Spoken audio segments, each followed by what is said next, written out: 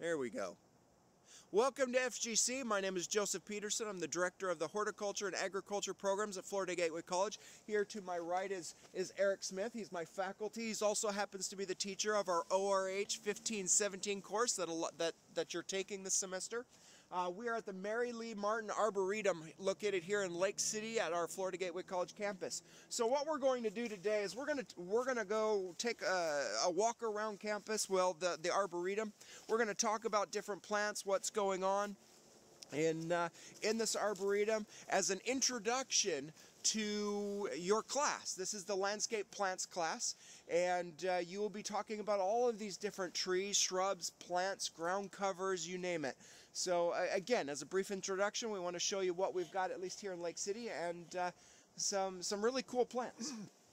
So, uh, for example, behind us, oh, and feel free, this is a 360 degree video, virtual lab. So you're able to click on your screen if you're not using virtual reality glasses. You can click on your screen and drag it. You can look up, you can look down, you can look at the ground, uh, everything. So here, here's uh, the, the, first one. If you see this, you can, you know, we'll get up a little bit close. This is uh, azaleas. Now, there's hundreds of different varieties of azaleas, especially in Florida. As we walk around, you're going to see, if you see any color out there right now, all the azaleas are in bloom, and this is the middle of February.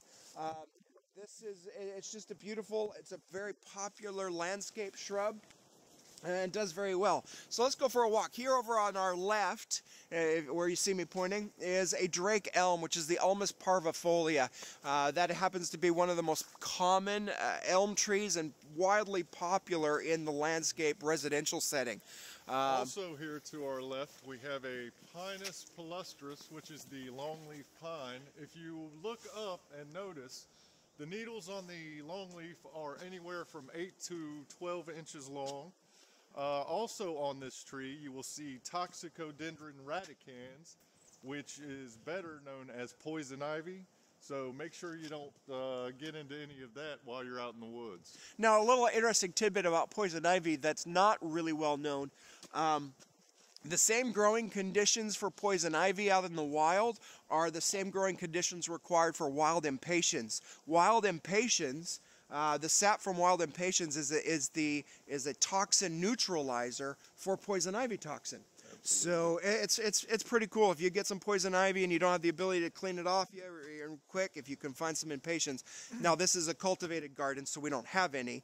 Um, but anyway, here this is uh, this again. This is an old old plant. This is a gardenia gorgeous plant but you Absolutely. can notice right now there's some yellowing going on in the leaves let's see if we can we can pull up some leaves here do you see the the uh, the oh. yellowing on this um, Eric your thoughts uh, let's see it's either going to be one of three deficiencies uh, nitrogen uh, manganese or iron okay most likely Right now, but in this area, I would say it's most likely a nitrogen deficiency.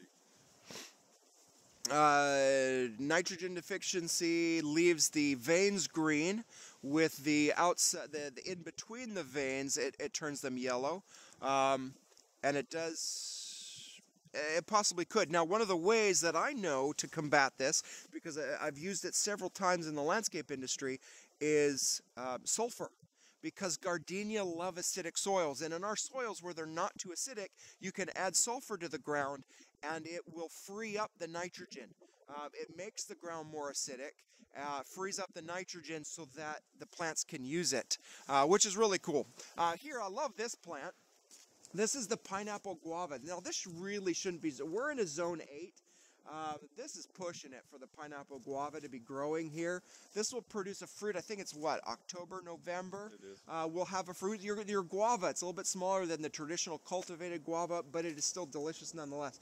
But the flowers are so cool. They're white with this this pink heart, I, I, right. reddish magenta heart, and it's. Uh, it's hard to describe it without being able to see it's it. It's fascinating. Not too much of a scent to it. Like the gardenia smells amazing uh, not too much of a scent, but just a gorgeous flower. And again, you can see more azaleas over here. Um, all Actually, different color azaleas. Uh, uh, reds, purples, azaleas. pinks. There's dwarf azaleas. We've got some tea, uh, tea trees.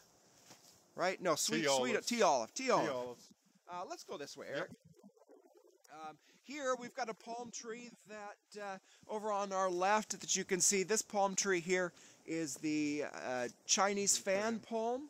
Chinese? No, European. European. European fan palm. Yeah, See, even as even as teachers, we, we, we can get confused We and get say things. So this is the European fan palm. The European fan palm is cold hardy to our area. I think even up to zone seven yep. in hardiness, and you'll be learning the, about hardiness zones in class this semester. Um, but just a great cold hardy palm. We've got a Nandina or, or uh, fire. heavenly bamboo. Yep, there we go. This is fun. These are the- these are the same plant but two different varieties. This is the Liriope muscari and this is the Aztec grass. This is a variegated Liriope and this is a standard Liriope.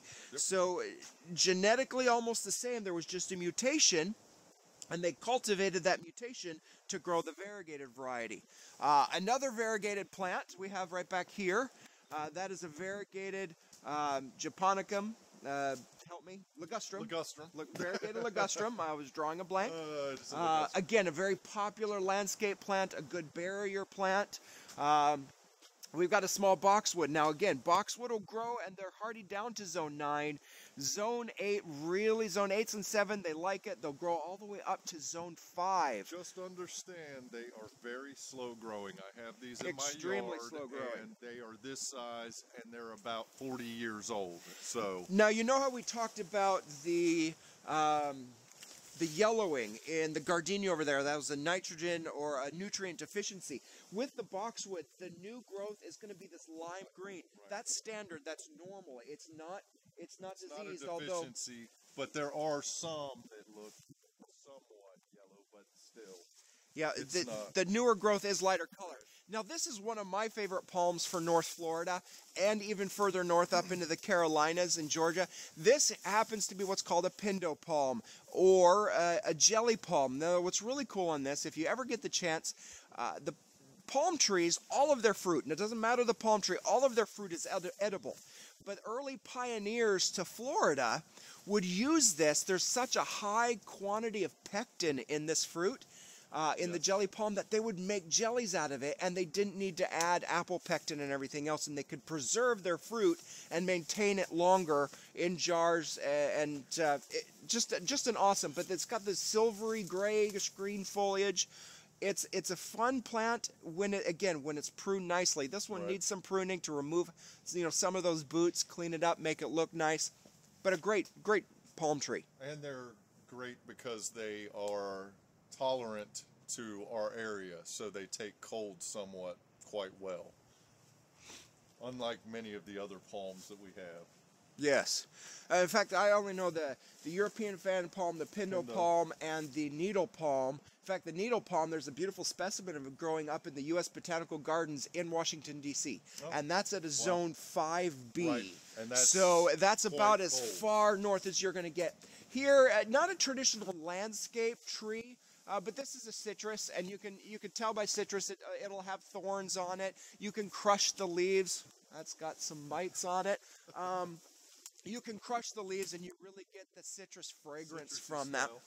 Um, over here, again, we, we've got bamboo, bamboo speciosa. There are hundreds, if not maybe even thousands of varieties of bamboo, all cultivated differently. If you want to plant bamboo, again, this needs to be planted in the right place.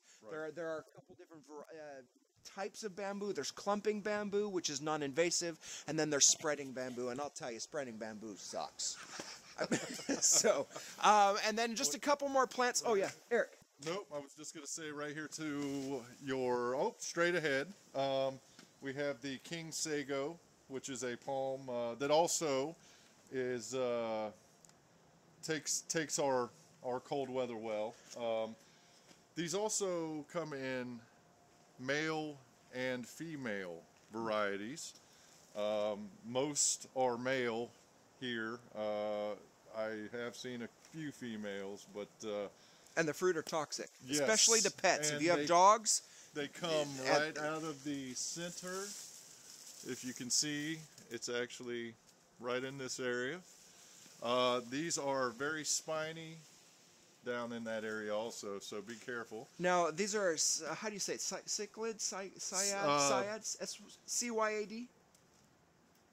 Uh, either it's, Something like it's that. like a palm. This is a palm-like plant. It is not actually An a palm, actual and true it palm. and it dates back actually to prehistoric times. There are fossil records of this plant Yes. um, dating back to Jurassic periods, the same as the ginkgo. We only have one ginkgo on on campus. Not even going to show you. It doesn't look too good. So uh, we've got a cabbage palm here that we're seeing now. We've got some Washingtonias with their with the beards on the Washingtonias, and when you see the uh, the old um, the the stems of the the palm fronds on there when they're attached to the trunk, those are called boots. If you see a trunk like this on a sabal palm that's smooth, it's called slick. So when you ever have to buy a palm tree, uh, they're going to ask you, do you want it booted or do you want it slick? Um, and that'll just that'll you know tell you type. And then straight ahead, you can also see some white flowering azalea that are almost done blooming. But um, feel free to you know go through this video, take a look at some more things. Again, feel free to look around, see everything that's going on. There's this is this is a lot of fun. Absolutely. And uh, I hope you enjoyed this as an introduction to ORH 1517, the landscape plants class. We're excited to be your teachers and to assist you with this.